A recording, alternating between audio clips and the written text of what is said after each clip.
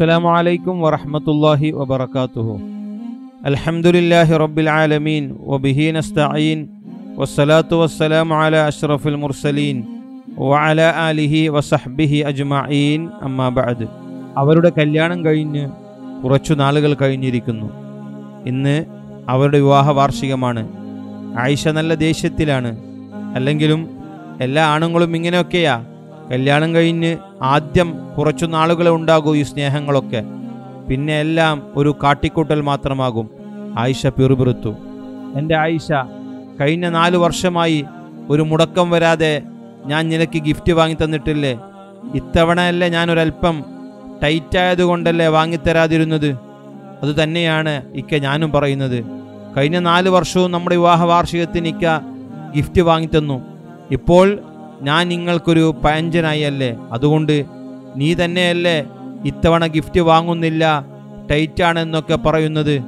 ആയിഷ നല്ലൊരു ദിവസമായിട്ട് ഇങ്ങനെ ഉടക്കാൻ നിൽക്കല്ലേ? നമ്മുടെ ആദ്യ വിവാഹ വാർഷികത്തിന് ഞാൻ നിനക്കൊരു ഡ്രസ്സാണ് വാങ്ങിത്തന്ന്. പിറ്റേതിന് മോതിരം മൂന്നാമത്തേതിൽ കമ്മൽ കഴിഞ്ഞ വർഷം ചെയിൻ. ഇനി പറ പഴകുന്തോറും എന്റെ സ്നേഹം കൂടിയോ കുറഞ്ഞോ? ഉത്തരം മുട്ടിയെങ്കിലും ആയിഷ പക്ഷെ വിട്ടുകൊടുക്കാൻ തയ്യാറായിരുന്നില്ല. നിങ്ങളെന്താ വാങ്ങിത്തന്ന സാധനങ്ങളുടെ കണക്ക് പറയുകയാണോ? അല്ല എന്റെ ആയിഷ എനിക്ക് സ്നേഹം കുറഞ്ഞെന്ന് നീ പറഞ്ഞപ്പോൾ പറഞ്ഞു പോയതാണ്. അയാൾ പതിന്ന സ്വരത്തിൽ പറഞ്ഞു അതിന് മറുപടി പറയാതെ ദേഷ്യത്തോടെ ആയിഷ അടുക്കളയിലോട്ട് നടന്നു. ആയിഷ ഞാൻ ഇറങ്ങാൻ പോവുകയാണ്. എന്നെ ഒന്ന് യാത്ര അയക്കിട്ട് പോ പെണ്ണെ. പക്ഷെ ആയിഷ അത് കേട്ട ഭാവം നടിച്ചില്ല. എന്റെ ഓഫീസ് ഫയലുകൾ മുകളിലത്തെ റൂമിൽ മേശപ്പുറത്ത് കിടക്കുന്നുണ്ട്. അതൊന്ന് അലമാരയിലോട്ട് അടുക്കി വെച്ചേക്കണേ. അതും പറഞ്ഞ് ഇക്ക ഓഫീസിലേക്ക് പോയി. പക്ഷെ ആയിഷ ഇക്ക പറഞ്ഞ ഫയലുകൾ എടുത്തു വെക്കാൻ ഒന്നും പോയില്ല. അവളുടെ മനസ്സിൽ അന്നേരം ഇക്കയോടുള്ള ദേഷ്യം മാത്രമായിരുന്നു. സമയം കടന്നുപോയി. ഉച്ചയായപ്പോൾ ഭക്ഷണം കഴിച്ച ആയിഷ ബെഡ്റൂമിൽ പോയി കിടന്നു. അല്പമൊന്ന് മയങ്ങിയതേ ഉള്ളൂ. നിർത്താതെ അടിക്കുന്ന മൊബൈൽ ടൂൺ കേട്ടാണ് ആയിഷ മയക്കത്തിൽ നിന്നും ഉണർന്നത്. ഉപ്പ ആയിരുന്നു ഫോണിൽ. ഹലോ അസ്സലാം വലൈക്കും ഉപ്പച്ചി. ഹലോ മോളെ എന്താ? ഉപ്പിയുടെ ശബ്ദം ഒരു വല്ലായ്മ. അത് പിന്നെ മോളെ പറയൂ ഉപ്പച്ചി എന്താ? മോളെ അത് പിന്നെ നിന്റെ ഇക്ക. എന്റെ ഇക്കാക്ക് എന്താ പറ്റിയത് ഉപ്പച്ചി പറ. ആയിഷ അമ്പലപ്പോടെ ചോദിച്ചു. മോളെ രാവിലെ ഓഫീസിൽ പോകുമ്പോൾ അവന്റെ ബൈക്കിൽ എതിരെ വന്ന ബസ്സുമായി ഒന്ന് അതുവരെ ഇക്കയോട് ആയിഷക്കുണ്ടായിരുന്ന ദേഷ്യമെല്ലാം ഞൊടിയുടെ കൊണ്ട് വേദനയായി മാറി. ഉപ്പച്ചി ഏത് ഹോസ്പിറ്റലിലാണ് ഇക്കയുള്ളത്? എന്താ എന്റെ ഇക്കാക്ക് പറ്റിയത് പറ. ആയിഷ പൊട്ടിക്കരഞ്ഞുകൊണ്ട് ചോദിച്ചു. പ്രശ്നമൊന്നുമില്ല മോളെ ഞാൻ അവനെയും കൂട്ടി അങ്ങോട്ട് വരാം. നീ സമാധാനമായിരിക്കും. പക്ഷേ സമയം ഒരുപാട് കഴിഞ്ഞിട്ടും ഉപ്പയും മിക്കയും വന്നില്ല. മാത്രമല്ല വീട്ടിലേക്ക് ഉമ്മയും മറ്റു ബന്ധുക്കളും നാട്ടുകാരുമൊക്കെ വരാൻ തുടങ്ങി. മുറ്റം നിറയെ വണ്ടികളും എല്ലാവരുടെയും മുഖത്ത് ഒരുതരം മ്ലാനത.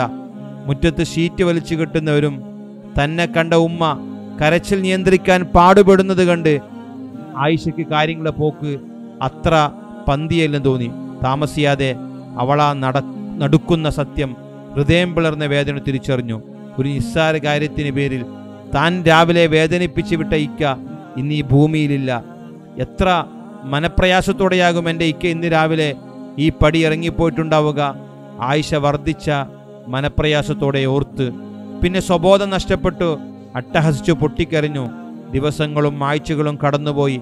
അങ്ങനെയിരിക്കെ ഒരു ദിവസം പെട്ടെന്ന് ഒരു നിമിത്തം പോലെ വാക്കുകൾ ആയിഷയുടെ മനസ്സിലേക്ക് ഓടിയെത്തി. ആയിഷ എന്റെ ഓഫീസ് ഫയലുകൾ മുകളിലത്തെ റൂമിൽ മേശപ്പുറത്ത് കിടക്കുന്നുണ്ട്. അതൊന്ന് അലമാരയിൽ അടുക്കി വച്ചേക്കണേ. ഇക്ക മരിച്ചതിൽ പിന്നെ ആയിഷ മുകളിലത്തെ നിലയിൽ പോയിട്ടേ ഉണ്ടായിരുന്നില്ല. ഇക്കയുടെ വാക്കുകൾ ഓർമ്മ വന്ന ആയിഷ വേഗം മുകളിലത്തെ മുറിയിലേക്ക് ഓടി. അവിടെ മേശപ്പുറത്ത് അലക്ഷ്യമായി കിടന്നിരുന്ന ഫയലുകൾ ഓരോന്നും കണ്ണീരോടെ അടുക്കി വെക്കുന്നില്ല ഒരു പേപ്പർ കഷ്ണം നിലത്തു വീണു. ആയിഷ അതെടുത്തു ഞെട്ടലോടെ അതിലെ വരികൾ വായിച്ചു.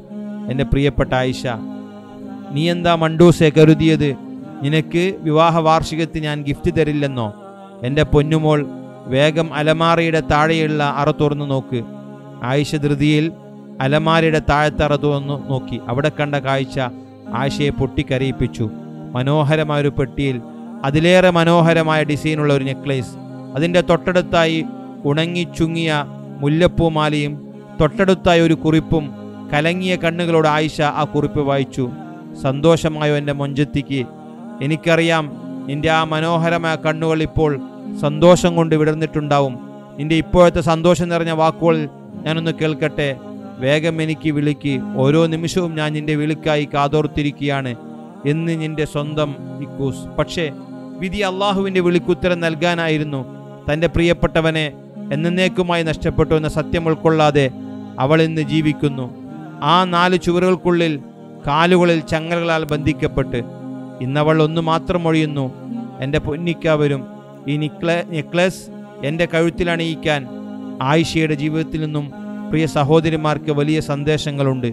ഒരിക്കൽ ഹബീബായ റസൂലുല്ലാഹി സല്ലല്ലാഹു അലൈഹി വസല്ലമ തങ്ങൾ കരളിന്റെ കഷ്ണമായ ഫാത്തിമ ബീബി ഉനഹയോട് പ്രിയപ്പെട്ടവനായ തന്റെ പ്രിയ ഭർത്താവ് അലിയ റലിയുള്ളാഹിനുമായി പിണങ്ങി വീട്ടിൽ വന്നപ്പോൾ റസൂലിനോട് പരാതി പറഞ്ഞപ്പോൾ അവിടുന്ന് പറഞ്ഞു മോളെ ഫാത്തിമ നിന്റെ പ്രിയതമനുമായി പിണക്കത്തിലിരിക്കുന്ന നീയെങ്ങാനും മരണപ്പെട്ടാൽ നിന്റെ ജനാദ നിസ്കരിക്കാൻ ഈ വാപ്പാക്കാവില്ല മോളെ ഫാത്തിമ. അത്രത്തോളം വലിയ തെറ്റാണ് എന്ന് അവിടുന്ന് പഠിപ്പിച്ചു.